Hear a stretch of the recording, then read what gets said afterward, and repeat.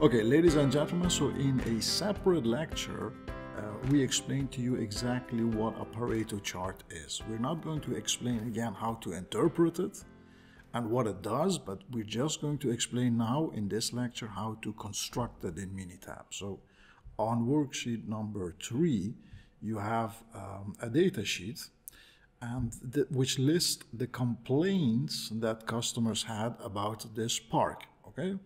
Um, one customer complained that the line is too long, another one complained about the staff, another one complained about food price, then about the ticket price, one person complained, etc., etc. Now we want to make a Pareto chart about that. Go to stats and then go to quality tools, click on that, Pareto chart. In this case, all the data that I need to construct this Pareto chart is in this one column, which is called complaint type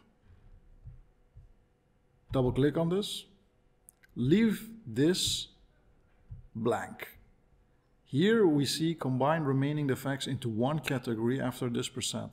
If you have a, I don't know, a lot of factors, in this case I have as factors line, staff, food price, ticket price, that's not a lot. But if you have, for instance, 20, 30, 40, then maybe you don't want to have 20, 30, 40 um, columns. So in, instead of that, maybe you say that, you know what, the rest, so the smaller ones that make up just 5%, merge them into one column.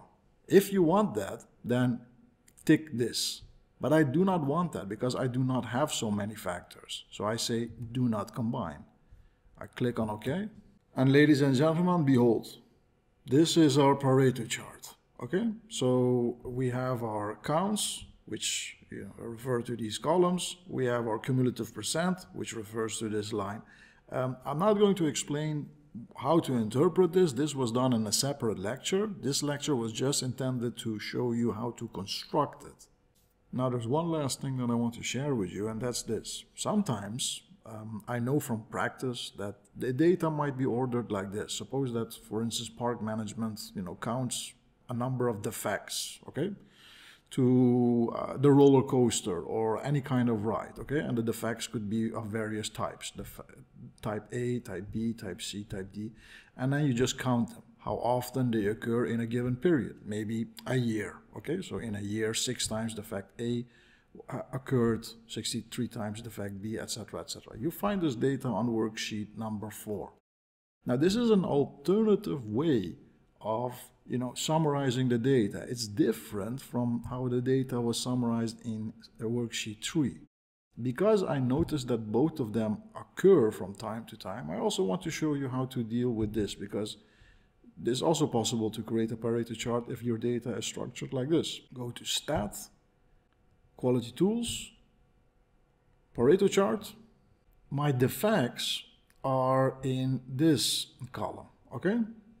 I even called it the defects. Double click on that. The frequency, so how often a defect occurs, are in the column that I call frequency. So, double click on that. Again, we do not choose for this one because we do not have so many uh, columns. But if you have, you might choose this one. And then we click on OK. All right, here we have our Pareto chart. Same principle as before, but now with data that is structured in a different way. Thank you very much for your attention.